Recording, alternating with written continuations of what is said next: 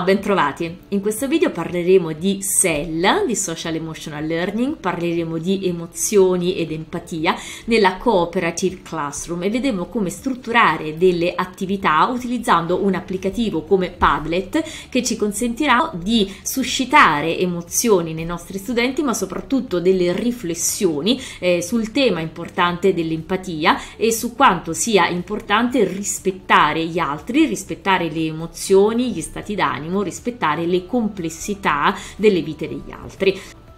Bene, vediamo questi tre esempi di bacheche digitali che sono state strutturate utilizzando l'applicativo eh, Padlet, nei quali eh, la, lo scopo, l'obiettivo è quello di suscitare una riflessione, quindi eh, utilizzare uno stimolo visivo in questo caso, eh, ma può essere anche uno stimolo uditivo, uno stimolo testuale, quindi come sempre, ehm, anzi, eh, più stimoli utilizziamo, più chiaramente andiamo incontro alle diverse diverse eh, intelligenze dei nostri studenti, estivi cognitivi dei nostri studenti e quindi ci orientiamo verso una didattica inclusiva. Ad ogni modo, quindi partiamo da uno stimolo per suscitare un'emozione nei nostri studenti e che poi diventa anche un momento di riflessione eh, su un concetto importante nel nostro caso, nel caso del nostro video, su come quello di, eh, di empatia. Eh, ed è il caso soprattutto di questa prima bacheca in cui abbiamo un video mh, mm, molto bello eh, di René Brown sulla, ehm, sul concetto proprio di, eh, di, empatia, non lo guardiamo per motivi, per motivi di tempo, ma insomma è, mh, mm, è un video in cui eh, si riflette proprio sulla, sul concetto di Empathy, un video in inglese ma con i sottotitoli in, in italiano. Dopodiché, eh, guardato il, il, video di cui troverete eh, tranquillamente il link all'interno della, della classe virtuale, guardato il video si chiede allo studente di esprimere un'idea sul concetto di empatia, di costruire un muro di parole con le parole chiave, può farlo sia in cartaceo che in digitale, di costruire un acrostico sempre utilizzando le parole chiave, oppure raccontare anche un episodio della vita in cui qualcuno ha avuto un atteggiamento empatico nei suoi, eh, nei suoi confronti in questo modo eh, ecco che eh, attiviamo nello studente questo momento di riflessione e questo spazio diventa anche uno spazio di condivisione di racconti di idee e di mh, esperienze. Altro esempio eccolo abbiamo un video di natura un po' diversa qui abbiamo l'elogio della, della diversità il video è un corto a like eh, di, di, di grande intensità. Si chiede ancora una volta allo studente di guardare il video di disegnare però in questo caso un'emozione opzione perché Padlet è uno strumento che consente allo studente anche di disegnare direttamente sulla bacheca oppure di costruire anche in questo caso un muro di parole, un acrostico, di raccontare un'emozione o addirittura di scrivere una poesia.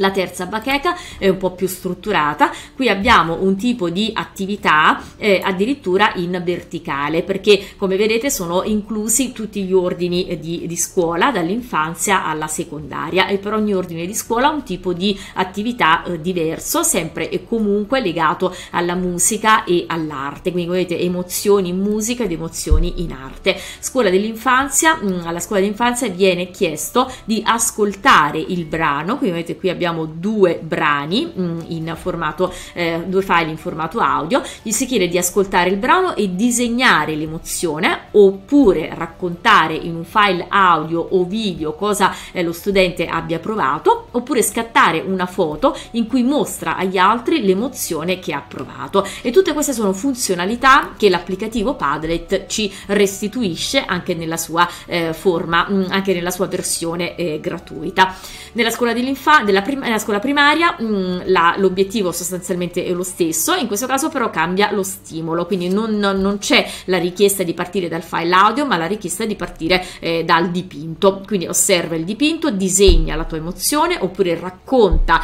eh, in un file audio video cosa hai provato, oppure scatta una foto in cui mostri l'emozione che hai provato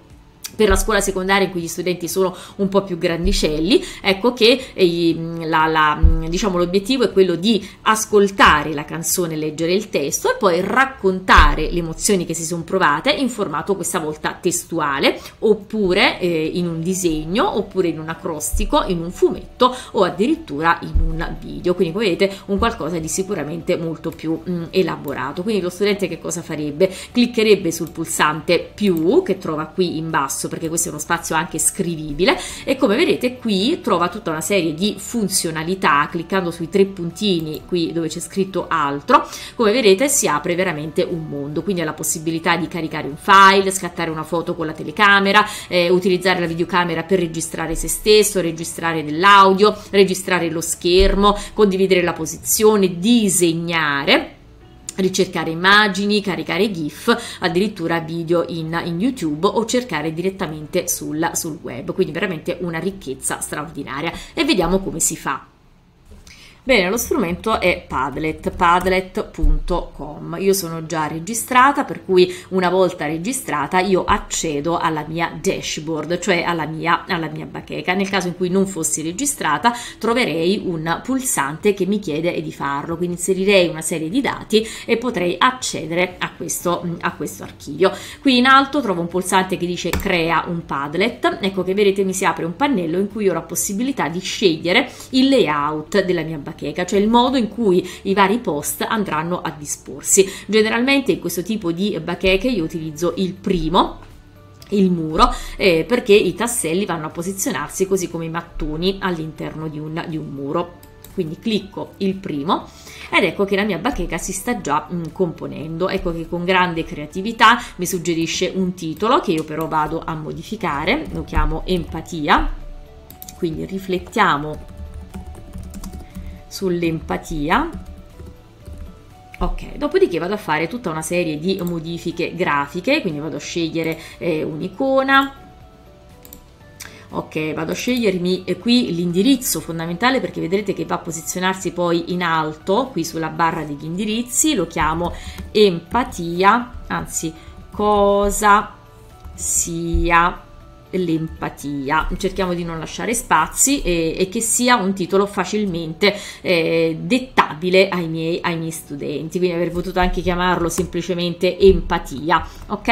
Eh, empatia anzi 2022, ma insomma come, un po' come mi pare. Anche lo sfondo può essere personalizzato e posso scegliere tra colori a tinta unita, gradienti, trame motivi, immagini, addirittura scegliere il mio sfondo, eh, cercarlo tra le immagini, caricarlo, quindi se vado a cercarlo tra le immagini faccio una ricerca ricerca sul, sul web, empatia mi restituisce tutta una serie di, eh, di risultati, ne prendo, ne prendo, uno e lo aggiungo come sfondo del mio, eh, della mia bacheca. Dopodiché scelgo anche poi combinazioni di colori o, o, o caratteri, scelgo di visualizzare o meno i commenti, posizionare i, la, la, il modo in cui posizionare i miei, i miei post, queste, queste sono tutte delle scelte che potrete fare anche eh, in, un secondo, in un secondo momento.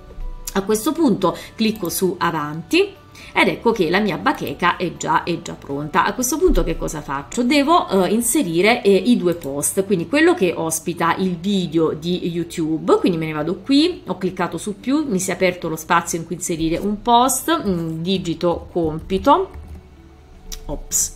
digito compito e qui vado a inserire le istruzioni per, uh, per, i miei studenti. Ok, quindi passo dopo passo, vedrete che qui c'è anche la possibilità di avere un minimo di formattazione, quindi selezionando il testo io posso anche eh, inserire un punto, un punto elenco. E devo andarmi a prelevare poi il video da YouTube, quindi tre puntini eh, e vado su e vado su YouTube, eccolo qui, io voglio il video sull'empatia di Brown, vediamo se me lo ricerca e se me lo trova, eccolo qui, ok scelgo il mio video magari non ho scelto neanche quello giusto ma comunque lo pubblico Eccolo qui, quindi ho messo il video, ho messo le istruzioni, tutto all'interno dello stesso post. A questo punto devo fare in modo che i miei studenti però possano scrivere su questa bacheca, quindi devo trasformare questo spazio in uno spazio scrivibile. Quindi che cosa faccio? Vado su condividi Ok, non aggiungo i membri perché dovrei aggiungerli proprio singolarmente, mm, ma che cosa faccio? Clicco sul pulsante cambia privacy. Segreto vuol dire che soltanto le persone che hanno il link potranno interagire con la bacheca, mi sta bene così. Che cosa devono poter fare i visitatori? Scrivere, mi sta bene così. Potrei dire poi successivamente, una volta che gli studenti hanno modificato e hanno inserito il loro post, che questa bacheca debba essere soltanto visualizzabile, quindi cambierò il permesso in può leggere. Benissimo, la mia bacheca è pronta chiudo, non mi resterà altro che condividere il link con i miei studenti. Quindi, loro, quindi che cosa faranno i miei studenti? Apriranno il loro browser, digiteranno l'indirizzo che il docente gli ha condiviso, troveranno questo spazio scrivibile, guarderanno il video, quindi dovranno a quel punto creare il proprio post, cliccheranno su più e avranno diverse scelte, diverse opzioni. Quindi cliccheranno sui tre mm, puntini sospensivi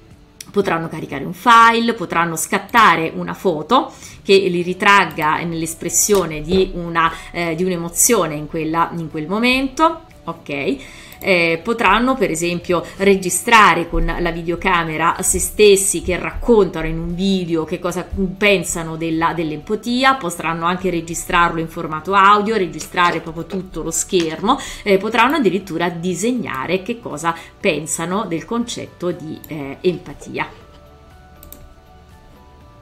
e naturalmente pubblicarlo inserendo il loro, il loro nome.